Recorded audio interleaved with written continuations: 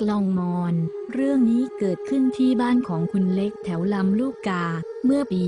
พศ 2554 ส่วนตัวคุณเล็กนั้นชอบสะสมของเก่า ชอบเดินหาของเก่าตามสวนจตุจักร แล้วมีอยู่วันหนึ่งก่อไม้ไต่กู้นัดกับเพื่อนไปที่สวนจตุจักร เพื่อไปหาดูของเก่า วันนั้นก็มีเพื่อนอีกสามคน รวมคุณเล็กด้วยเป็นสี่คน คุณเล็กก็เดินไปเรื่อยๆ และเดินผ่านร้านขายของเก่าร้านหนึ่งที่ขายกล่องไม้ คุณเล็กก็ไปสะดุดตากล่องไม้สีดำฝังมุก เป็นลายไทย สวยมาก ก็ถามลุงเจ้าของร้านว่าพี่นี่กล่องอะไร สวยจังลุงเจ้าของร้านตอบว่าไม่รู้ ก็ไปซื้อเหมาเหมามา น้องชอบไหมล่ะ พี่พยายามเปิดมาตั้งนานแล้ว แต่เปิดไม่ออก คุณเล็กก็หยิบกล่องัดขึ้นมาดู ลักษณะของกล่องกว้าง 10 นิ้ว ยาว 15 นิ้ว เป็นไม้สีมันมันฝังมุกเป็นลายไทย มีรอยฝาปิด แต่ไม่มีกลอนล็อก ไม่มีรูกุญแจ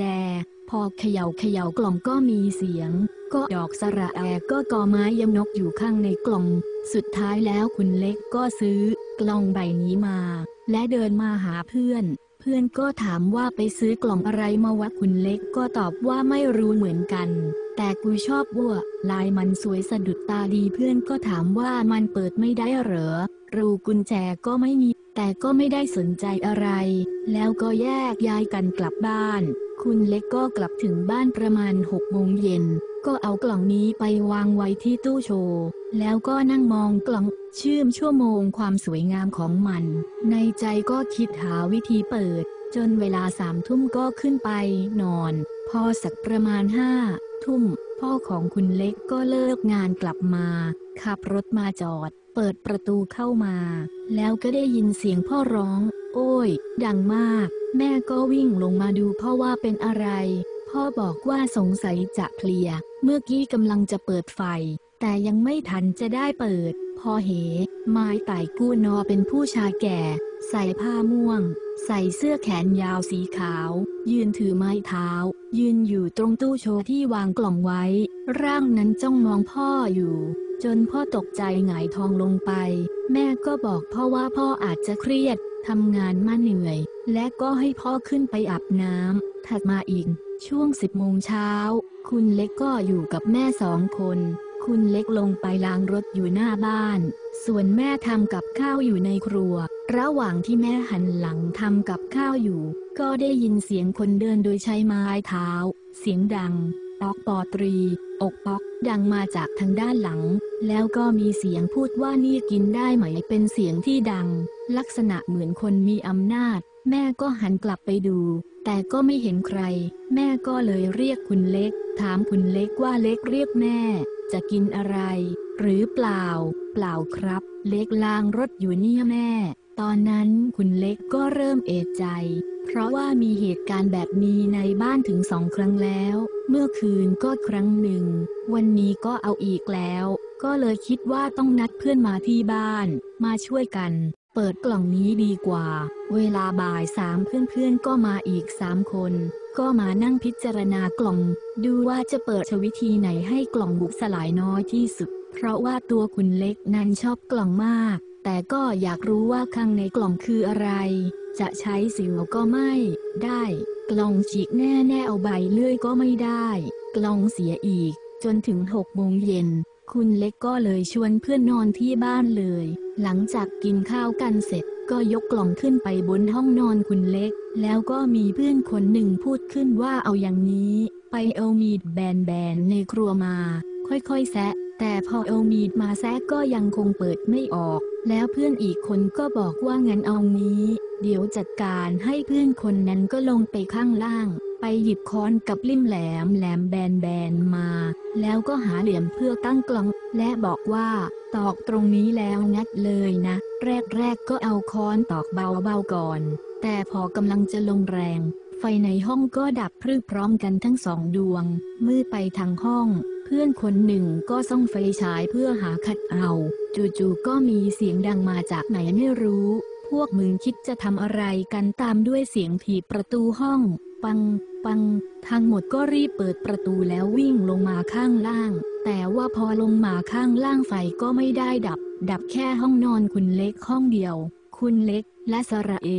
พือนอก็นั่งคุยกันอยู่ข้างล่าง ยังไม่มีใครอยากขึ้นไปข้างบน ผ่านไปสักพัก คุณเล็กก็ขึ้นไปหยิบกล่องลงมาเก็บไว้ที่ตู้โชว์ตามเดิม เพื่อนก็บอกว่ากล่องนี้มันทำแหน่งทำแหน่งแล้วว่าเล็ก คุณเล็กก็คิดเหมือนกัน เพลนสระอาสระอาแม่กับพ่อก็เจอมา ก็เลยคุยกันว่าจะเอายังไงกันดี แล้วก็มีเพื่อนคนหนึ่งเสนอขึ้นมาว่าเอางี้ เอากล่องไปไว้บนห้องเลย แล้วเรานอนพร้อมกันสี่คน ถ้าจะเจอก็เจอพร้อมกันทั้งสี่คนนี่แหละคุณเล็กก็เอากล่องไปวาง ไว้ในห้อง เปิดไฟในห้องไว้ พอเที่ยงคืนกว่าๆก็ปิดไฟ นอนไปได้สักประมาณครึ่งชั่วโมง ทุกคนก็ได้ยินเสียงคนเดินโดยใช้ไม้เท้า เดินขึ้นมาเรื่อยๆ จนมาหยุดที่หน้าประตูห้องคุณเล็ก แล้วเสียงนั้นก็เงียบหายไปคุนอนเล็กก็สะกิดเพื่อน เพื่อนก็กระซิบบอกว่าได้ยินแล้วแล้วจากนั้นก็มีเสียงพูดว่า ยุ่งอะไรกับของกู ยุ่งอะไรกับของกู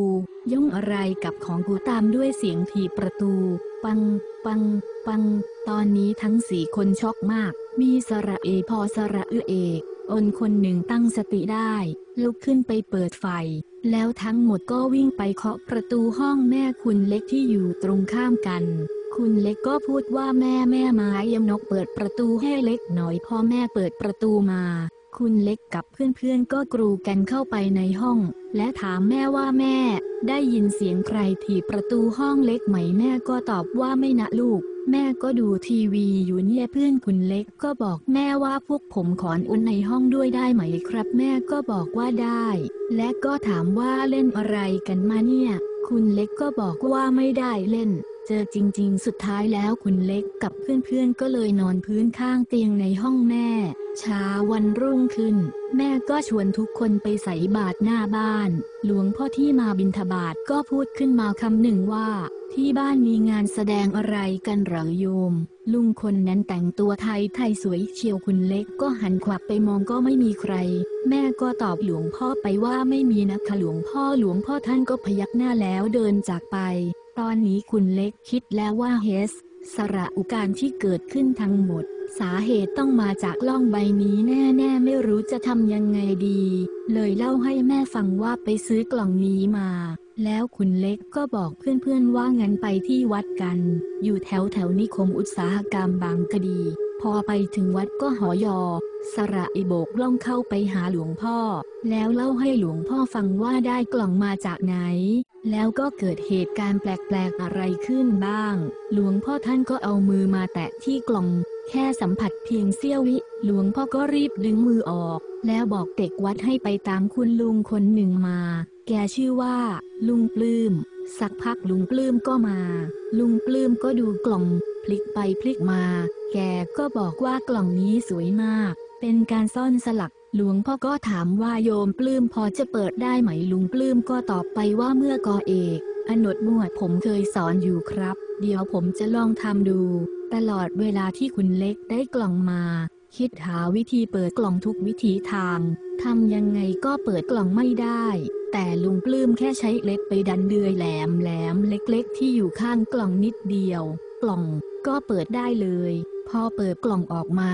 ก็พบกับแท่งโลหะสีเงิน จามด้วยอักขระตรงด้านซ้ายแล้วอุดด้วยขี้ใต้ หลวงพ่อบอกว่านี่คือตะกรุดมอนคนมอญสมัยก่อนเมื่อเสียชีวิตไปแล้ว ลูกหลานจะอัญเชิญอัฐิของบรรพบุรุษมาใส่ไว้ใน นี้ และอุดด้วยขี้ใต้ อหลวงพ่อแกะขี้ใต้แล้วเทออกมา ก็ปรากฏเป็นพังนกกระดูกขาวๆจริง ๆ แล้วหลวงพ่อก็ยัดกลับเข้าไปไว้เหมือนเดิม หลวงพ่อบอกกับคุณเล็กว่าอาตมาขอบินทบาทได้ไหมคุณเล็กก็ไม่ปฏิเสธ ให้กล่องนกไม้หันอากาศบอหลวงพ่อไปเลย หลวงพ่อก็เก็บตะกรุดใส่กล่อง แล้วบอกให้เอากล่องไปวางไว้ตรงนั้น แล้วหลวงพ่อก็เอาจีวรคลุมไว้ แล้วก็ท่องอะไรสักอย่าง คล้ายเป็นคาถากำกับไว้ ก่อนจะพากันกลับ หลวงพ่อก็รดน้ำมิลลิลิตรให้ คุณเล็กกับเพสระอือเอกอนก็กลับออกมาจากวัด พอมาถึงบ้าน คุณเล็กกับเพื่อนก็พากันยีบหลับ เพราะเมื่อคืนไม่ค่อยได้นอน คุณเล็กก็ถามเพื่อนๆว่าคืนนี้ค้างบ้านกูอีกคืนไหมเพื่อนก็บอกว่าได้สิ คงไม่มีอะไรแล้วแหละ ตกกลางอกสระอือนอ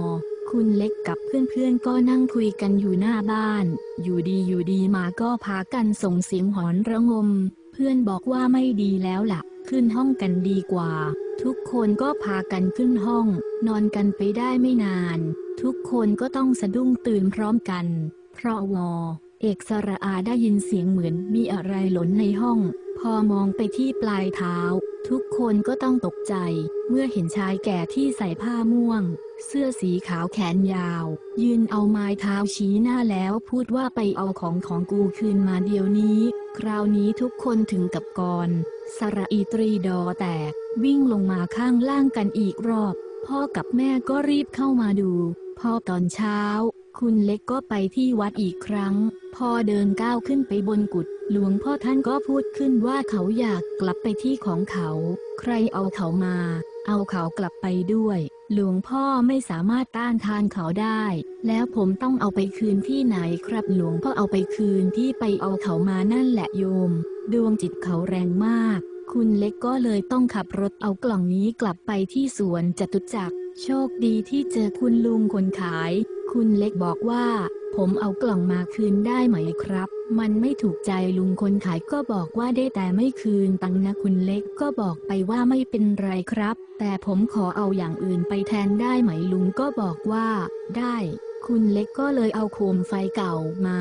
พอกลอไม้หันอากาศพอมาถึงบ้าน ก็เอาโคมไฟมาตั้งไว้ แล้วตอนกลางวันวันนั้นเอง แม่ของคุณเล็กก็นอนแล้วฝันว่า ชายแก่คนนั้นมายืนที่หน้าบ้านบอกว่าถ้าเอาไปคืนแล้วก็แล้วต่อกัน และกูจะไม่มายุ่งย่ำที่บ้านนี้อีกจำไว้ของของกูใครอย่ามายุ่ง หลังจากเหตุการณ์ที่เกิดขึ้นในครั้งนั้น ก่อนที่คุณเล็กจะซื้อของอะไร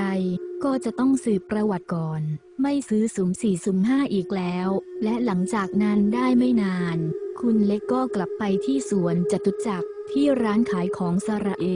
การร้านเดิม แต่คราวนี้ลุงคนเดิมไม่ได้มาขายแล้ว แต่เป็นหลานชายคนหนึ่งมาขายแทน คุณเล็กก็เดินเข้าไปสอบถามว่าคุณลุงไปไหนแล้ว หลานคนนั้นบอกว่า